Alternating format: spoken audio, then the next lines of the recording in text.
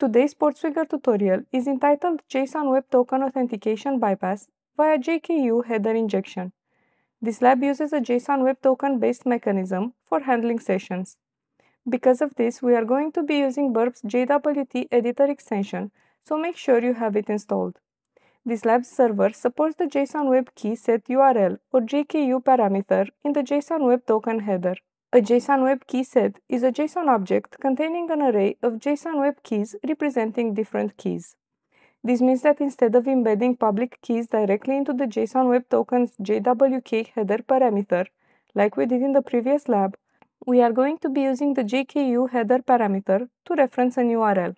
When verifying the signature, the server fetches the key from the provided URL. Secure websites will only fetch keys from trusted domains. However, this lab server fails to check whether the provided URL belongs to a trusted domain before fetching the key. To solve the lab, we must access the admin panel located at slash admin and delete the user Carlos. Let's access the lab and log in as winner. Then try accessing the admin page at slash admin. As with the previous labs, we get the message admin interface only available if logged in as an administrator. Go to Burp Proxy HTTP history and look for the Get My Account request. Send this request to Repeater. In Repeater, we can see that we are logged in as winner.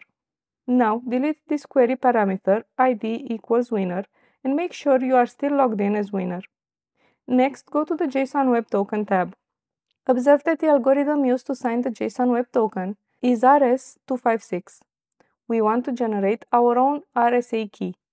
To generate a new RSA key, go to the JWT editor and click the New RSA Key button. In the window that pops up, click Generate and then OK. Right-click on the newly created key and select Copy Public Key as JWK. Back in the browser, go to the exploit server we are going to add a new JSON web key set in the body section, like seen in the previous example. So, a JSON object containing a key called keys, which is an array of JSON web keys. Here, we are going to add our newly created JSON web key. We are going to be using this key to sign the JSON web token, so copy the key ID and replace the value in the key ID header parameter. Lastly, add a new JKU header parameter to the JSON Web Token. This will have the value of our exploit server's URL. Copy it from the browser and paste it here. Now, we need to sign the JSON Web Token with the RSA key we've created before.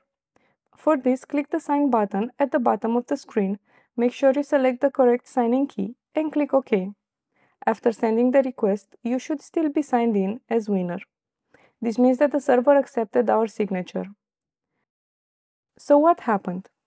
The server received the JSON Web Token, so the JKU header parameter went to the provided URL, which was our exploit server, saw the key, checked it against the key used to sign the request, they matched, so everything seemed okay. The problem here is that the server did not check if the URL used was part of a list of trusted domains. All that's left to do now is change the value of the subject to administrator. We are logged in as the administrator and now have access to the admin panel.